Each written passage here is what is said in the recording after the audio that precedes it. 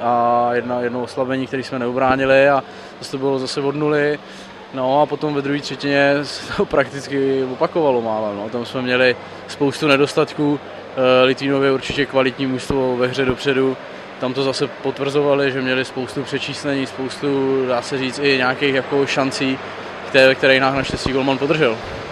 Bouřka nebyla, řekli jsme si, že hrajeme zase od 0-0, že se to dalo čekat, prostě, i, když, i když je prostě tam, kde je v tabulce, ale prostě soupeř je to silný, má, má na to, aby se dostal někam vejš. Minulou sezónu to určitě potvrdil a my jsme prostě si jenom řekli, že musíme se trošku sklidnit, nehrát s něma hokej nahoru dolů, který jim vyhovuje, že prostě mají ty útočníky šikovný na ty přečíslení a spíš zkusit se víc držet na puku a ono to